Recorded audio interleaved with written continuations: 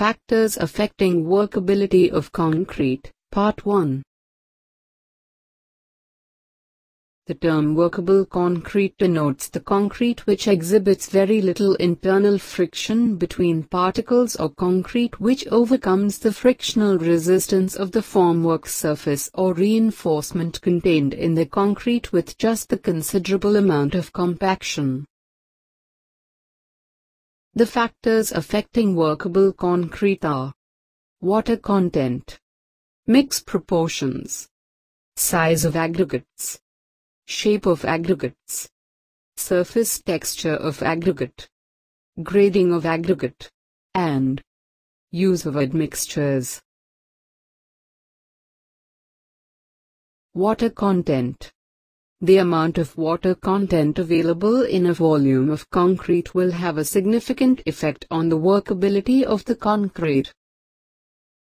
The higher the water content per cubic meter of concrete, the higher would be the fluidity of the concrete. In general, to increase the workability of the concrete at site certain amount of excess water is added. However, it should be noted that increasing the water content of concrete will to have some effect on strength of the concrete. Thus, an addition of more water is considered as a last recourse. Besides, whenever more water is added, a certain amount of cement is also added, so that water-cement ratio remains constant. Mix proportions. In general, Aggregate cement ratio is also an important factor which influences the workability of the concrete. If the aggregate cement ratio is higher, the lean concrete is formed.